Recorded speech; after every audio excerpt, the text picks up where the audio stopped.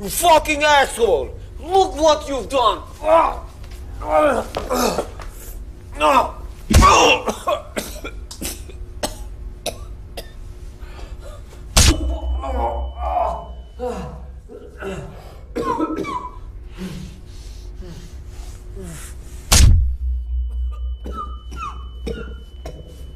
Hey, hey, enough, eh? okay? I have told you everything I know. If Commissar don't want to be found, he don't get found, understand? Fucking idiots. Motherfucker. What's this shit?